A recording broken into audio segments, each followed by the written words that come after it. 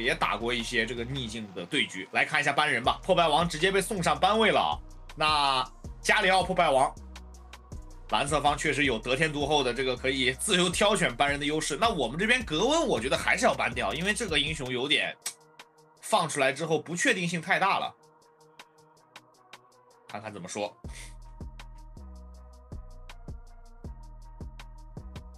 格温没问题。那 T1 这边会不会真的三手搬冰女啊？我感觉上一局他们没有这样做，可能会发现这个冰女有点难受。真的有没有可能三手搬冰女啊？来看一下 T1 怎么想的。包括前面一直在针对的一个阿宾的贾克斯，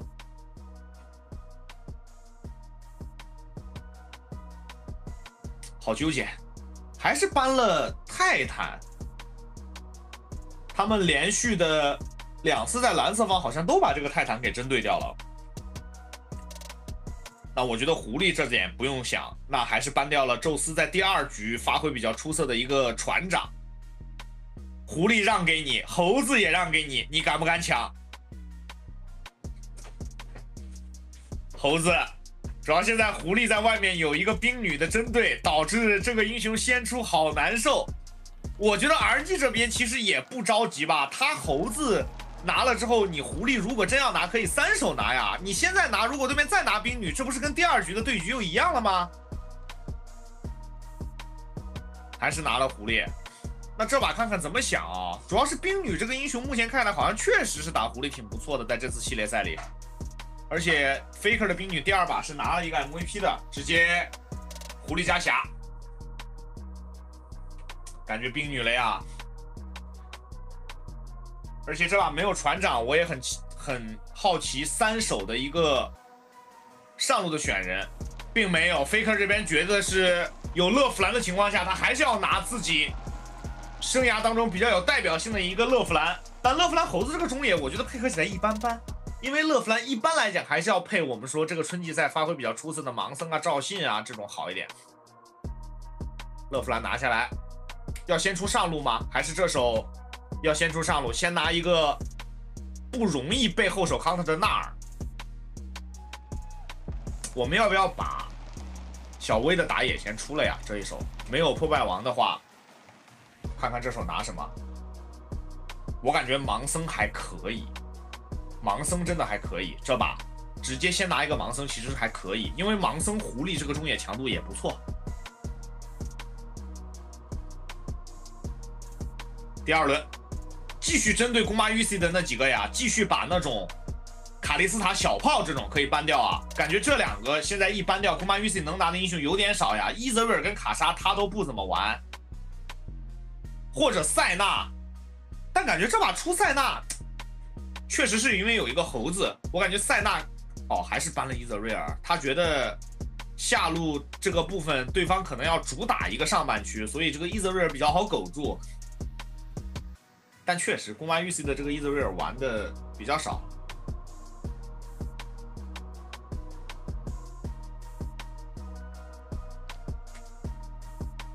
看看，好的啊，刚才我这边网络也是小波动了一下啊，连上来了。我以为你去，我以为你去那个指导 BP 去了。呃，这边延迟比较大啊，问题不大。看一下 BP 这把拿瞎子了，瞎子拿瞎子的一个中野。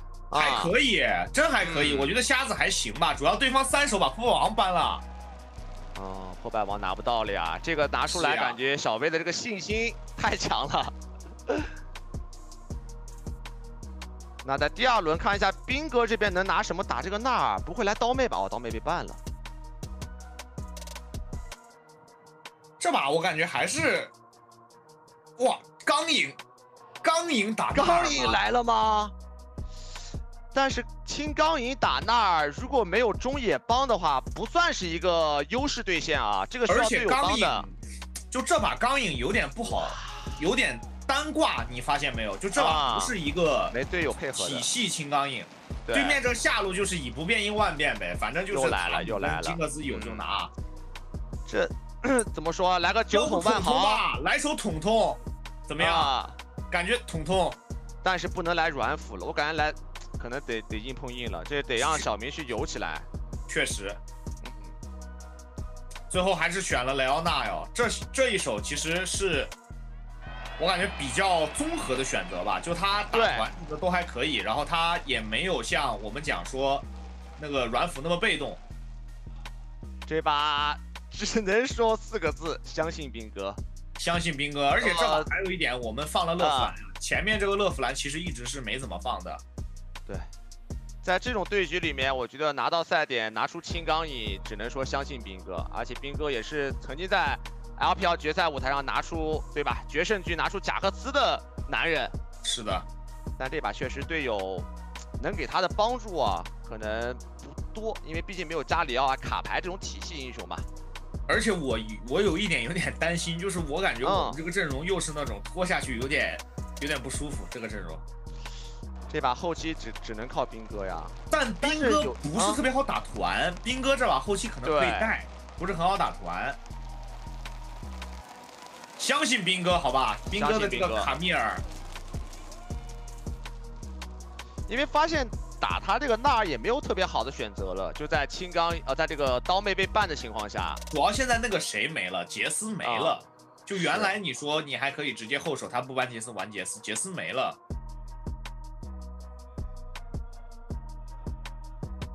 而且这把对方的这个中野其实强度上面怎么说？因为有猴子的存在吧，不像我们的这个狐狸盲僧前面那么好做事，所以也要看看能不能像上一局一样。因为上一局我觉得最好的地方还是三四级对面这个中野就很难玩了。对，刚才没有看到完整的 BP 啊，这个盲僧是第二手拿的是吧？抢呃第三手，就是第二轮吧，第三手，因为是对方在前三手搬了那个呃破败王，然后。我们三手出打野，我当时也觉得拿盲僧是比较好的，因为没有别的特别好的，因为这玩意赵信太拉了，你懂的。对，还是得中野上强度吧。对的，就你一定要找一个能跟狐狸一起对抗乐芙兰的，而且盲僧打乐芙兰还算有点就是效果的，因为天一波挂到他不太好跑。是的，这把依然看中野吧，上把能赢下来，我觉得还是中野的优势。对的。但这把还是要小心啊，因为对方的这个下路组合在第二局的时候，甚至打线是有点小小推线权的。但这把我觉得好消息是，至少 RNG 这个阵容它不像上一就是第二把那样，第二把究极被动。对，这把至少有一个青钢影，对吧？然后也能包括辅助小明这边也是选择了一个应付，至少主动权啊，这场比赛一直是在 RNG 这里的。只要我们赛区队伍能拿到主动权，我觉得至少在一些关键的决策上面啊，他敢于做尝试，不会那么被动。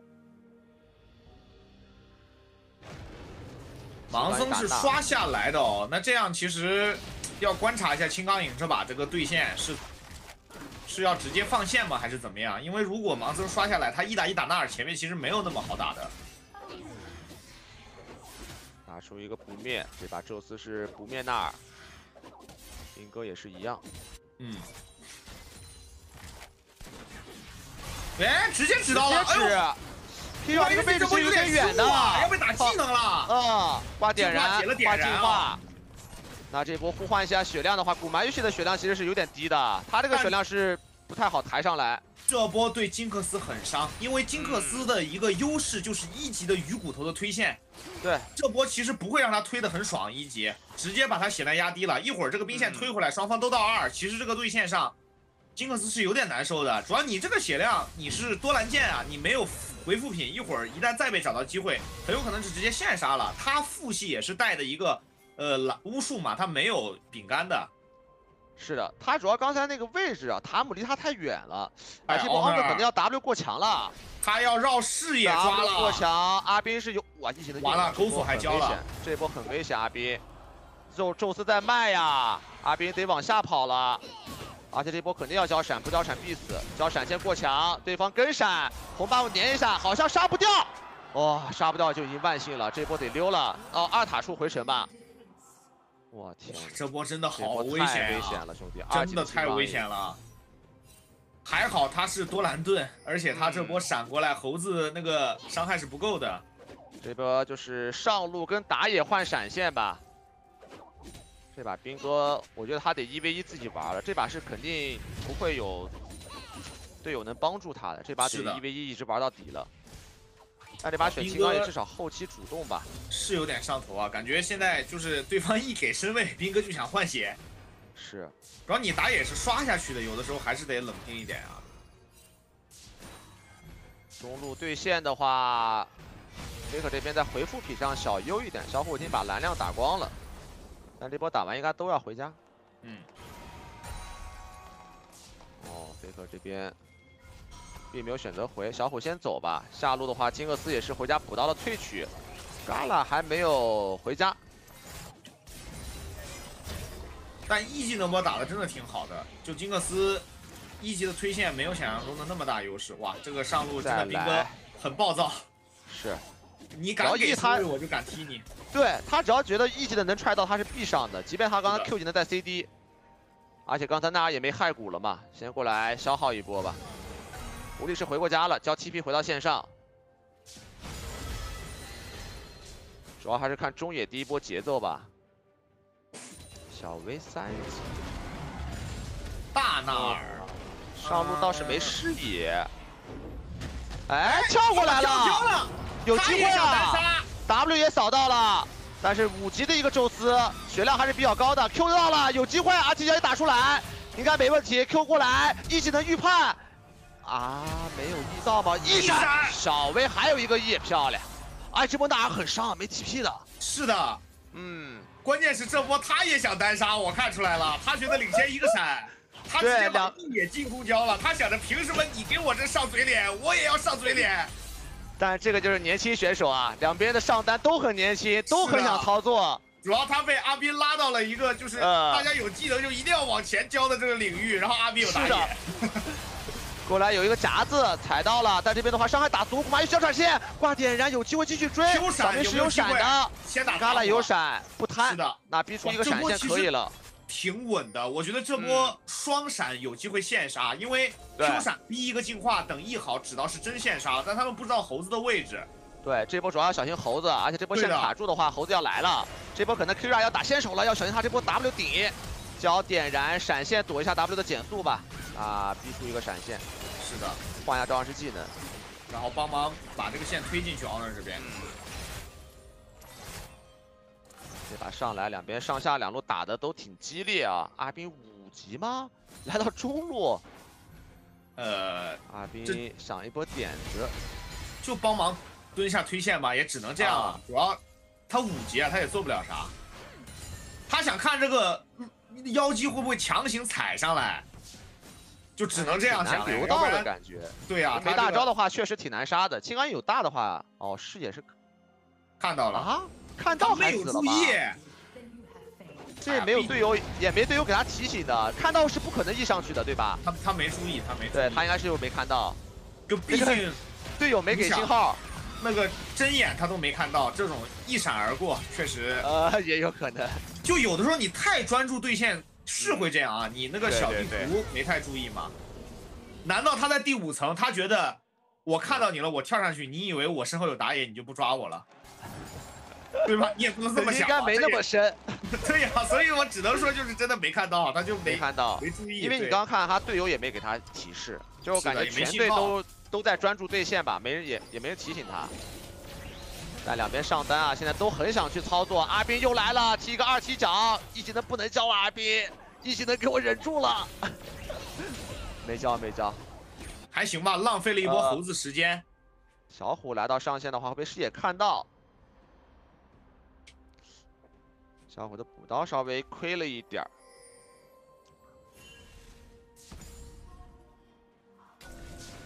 但这把主要还是那个问题，就是对面这个阵容发育下去，因为下路有个金克斯嘛，所以我们还是得稍微的想办法起节奏。来了，踢到打一套，毕竟是个乐福来，不太好留。对，就消耗一波，反正因为刚刚没六级嘛，吃了三个兵的经验才到六的，没六级肯定杀不掉。峡谷先锋出生，下路 Gala 也是到达六级。我感觉这个下路姑妈 UC 对线现在真的是要处处小心，主要他没闪现，嗯，他这把被指到的稍微有点小多。阿斌这边率先把先锋打醒，但是双方辅助来讲，塔姆先一步到，塔姆这边是也只有一个五级，两针这波战力是差不多的，宙斯的怒气情况不是很理想。但霞在赶哎，霞先一步能够到。啊，RNG 可能还是更想打这波一些。金克斯在路上踢到一个假猴，那应该是不上了，先把假猴打掉，等一下霞的霞的位置吧。金克斯也在过来了，两边辅助等级是落后一级的小明是的，塔姆蹭到六了这个位置。来看一下双方怎么先抓纳尔。哎，宙斯不走吗？踢过来没有踢到，但这边的话队友的伤害应该是够的。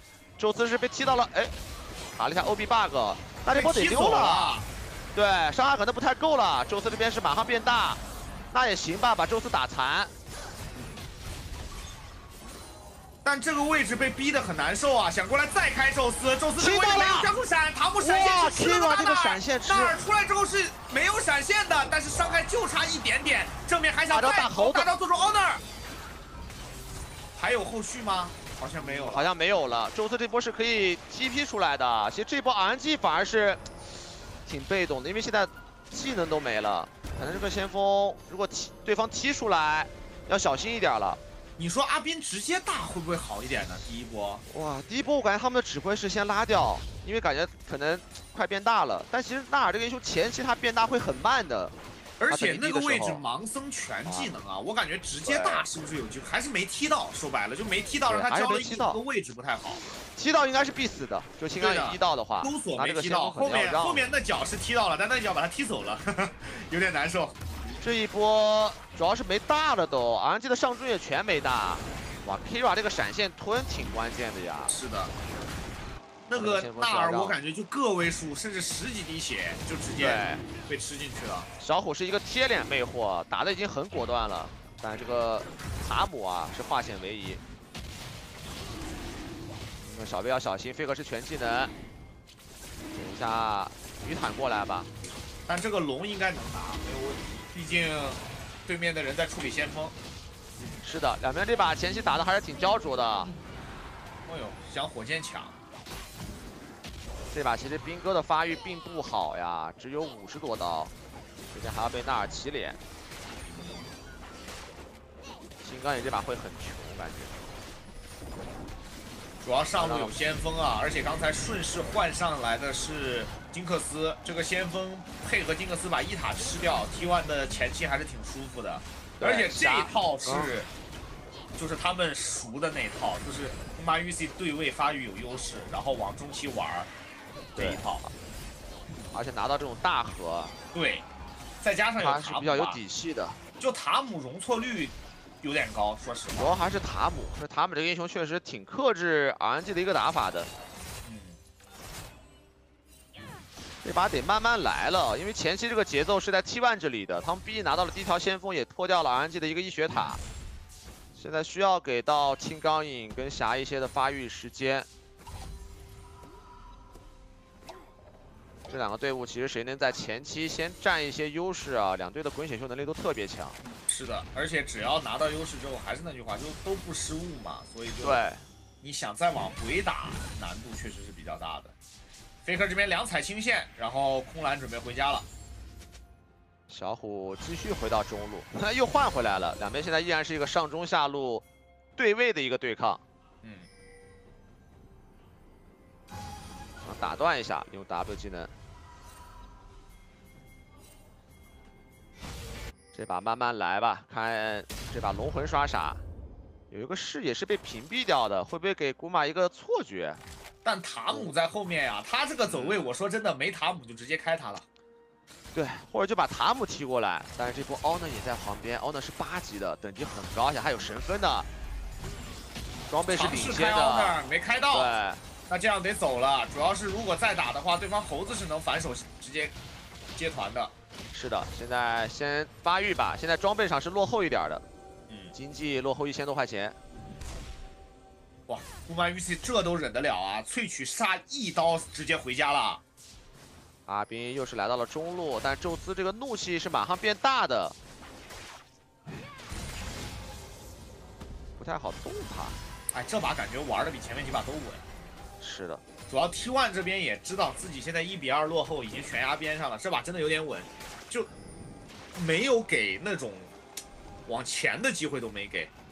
想火箭断回城哦，但这个位置嘎拉还是能回去的。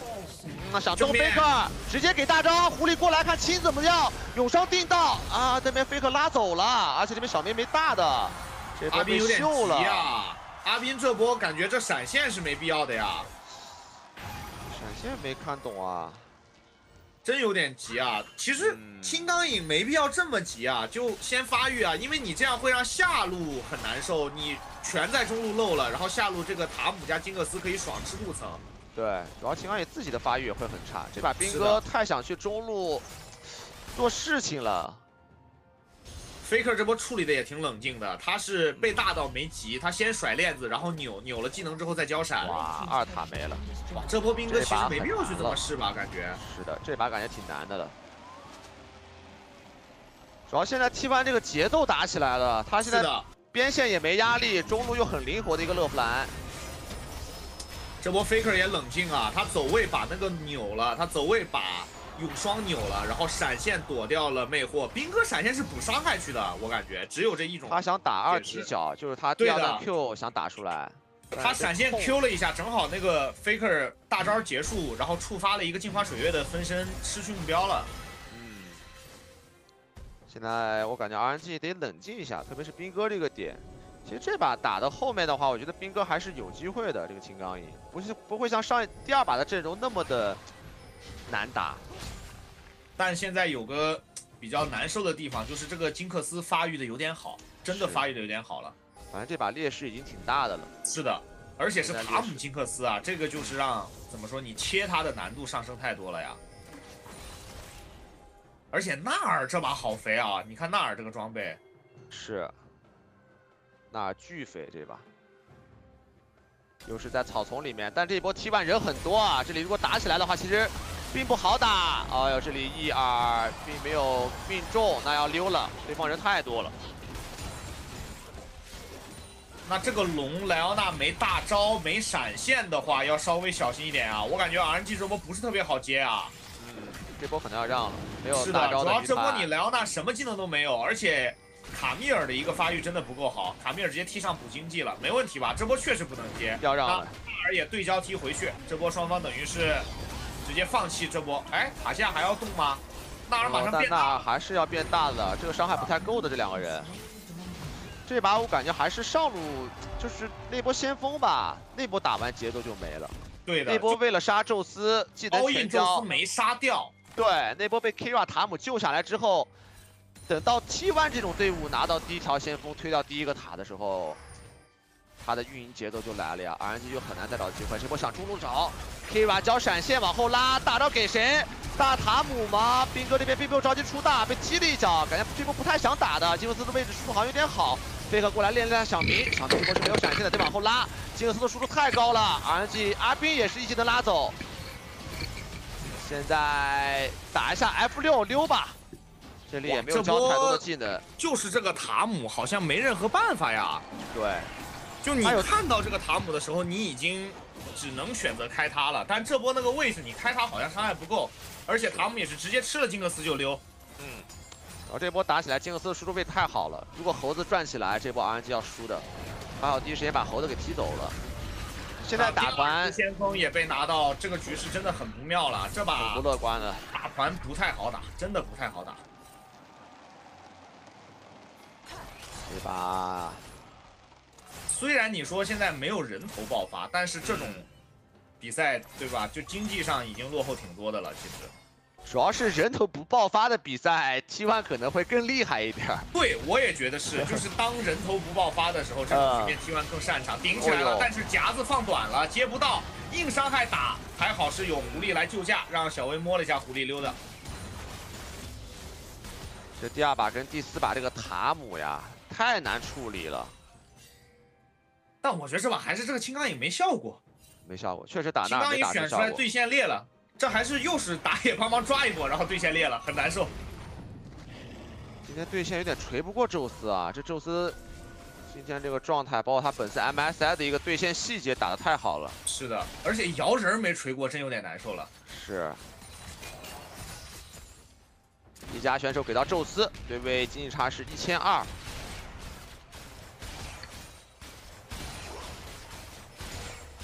刀差距有点大了，说实话。是的，而且这把还是个最不理想的火龙魂，对 RNG 来说。小虎魅惑一下，赶紧溜！预判一个对方的位置，但这个位置小虎还捏着大招。呃，要看霞上吗？霞来的话其实可以打的，Kira 被清到，Kira 这个顶反而把自己给卖了，而且 Honor，我，Honor 没有留到，Honor 用 W 过墙，来了，Kira 有点太凶了啊！就是我说那个五波里有四波是好的，有一波就是这种，他你也不知道为什么他就硬硬凶，但这个人头不太止渴，只能说小干燥。哎，有点没资源，还是没资源，小干燥。对，多来几波这种。现在青钢影的发育确实太差了，需要一个很大的时、很长的时间去补。而且现在还有一点就是这个，你看着这个金克斯在中路推线，你拿他没办法，导致现在中路一直有线权 T1 这边。反正这把要我硬找一个理由吧，就是相较于第二盘就 RNG 落败那盘阵容啊，至少这把还是有主动一点，好吧？对，有一些先手能力的。是，就你要是像第二把那种阵容，你哪怕遇到机会你都抓不住，但这把你遇到机会啊，能抓住，但是这个前提是 T1 会出现一些失误。所以这把的翻盘难度，我觉得还是很大的，但不会像第二把就那么绝望。就第二把是我们很早就认为至少就没了，对对。但这把目前至少是个六四开，我觉得就是如果真打起来啊，有点机会。主要现在得把装备的进度得跟上。青钢影现在这个情况是打不了团的呀。霞的装备是不差的，其实哎狐狸的装备也还可以，尤其是。这把因为小明是一个硬辅，其实我们心里就踏实很多。小明玩硬辅还是能找到一些机会的。嗯，过来做一个连接点，让小薇去排野。现在视野的压力会很大。是的，但 T1 这波的下一波攻势要来了，他会卡火龙快刷新的时候放中路的峡谷先锋，来形成一个这个五一分推，直接放先锋吧。这波看一下。我感觉他可以再等一等，他等到快刷火龙再放，其实对 RNG 的威胁是最大的。他等下一波兵线再放，这样 RNG 需要去取舍，而下路的兵线，Faker 也带过来了。下路这个塔应该是要被点掉了。哎，这波宙斯的怒气特别好，RNG 这里是不太好接这波龙团的，那应该是让了。哇，那感觉这波让其实经济会被拉开挺多的，主要两座塔加一个龙，而且这个先锋好像能撞二塔，这个是不能接受的呀！如果这个二塔再被撞一下，好难受啊！哦，这盘有点被运营拉扯麻了，青钢也在上路继续带，纳尔变大，RNG 在纳尔变大的期间是根本不敢去跟对方开的。然后这个火龙因为现在的视野非常差，又有一个大纳尔，RNG 不敢贸然过来，T1 还很很小心，他觉得前面两把你都是不讲道理，你看你硬过来看，这波 T1 还蹲了一下 RNG。这个小龙应该是让了，小虎这边回家是都输了世界专注，但这把真的被被运营的有点难受。嗯，主要这个 T1 运营节奏。打的太完美了吧？你看他们虽然现在是零人头，但他们这个节奏是有点窒息的。RNG 基本找不到太多的机会去跟对方能打起来，基本上就是无损再拿一些资源，无损的同时还在尽量的去推掉你的防御塔。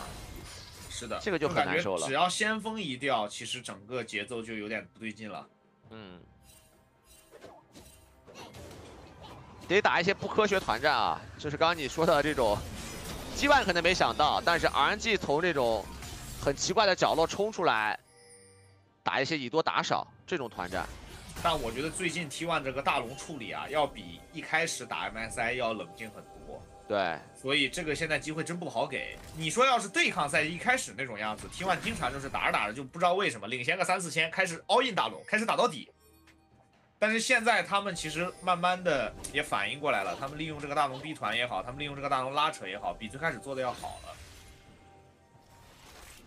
哇，这个火龙压力有点太大了，主要是，而且现在河道视野完全做不出去。对方的一个先手虽然不是强先手，但是你还是不敢去啊。想过来尝试一下嘛，抢一下蓝，但是蓝还是被宙宙斯给拿下了。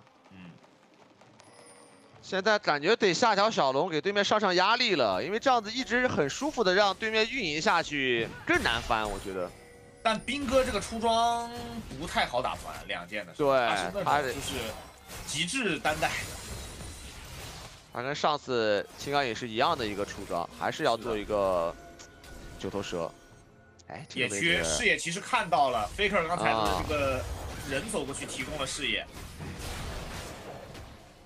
古马 UC 也要回家了，这波回家看看是不是要快三件套了。主要是他发育真的还挺好的，两件半。哦呦，破剑者的纳尔，嗯，宙斯想继续往下带了。他这个装备一出，他边线是可以一打二的，很肉。是的，这不是一个打团装，但是能让他的在边线的发育吧变得更安全、更抗压。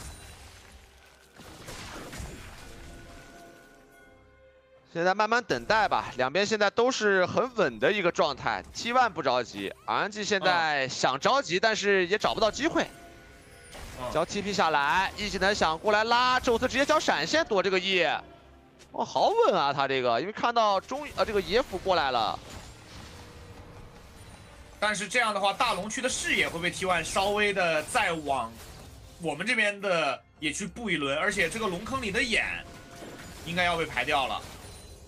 那这样对青钢影单带的压力有点大呀，主要现在龙坑完全没视野了。青钢影这边硬带的话，可能 T1 这边推波中线要去动龙了，因为宙斯已经来到了正面。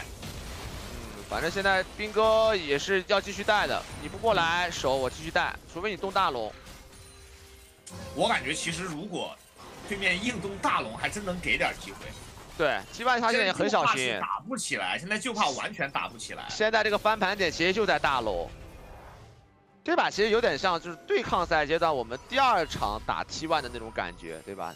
对面的优势经济优势有，但是。就很稳，就不太会轻易的给这种大龙的机会。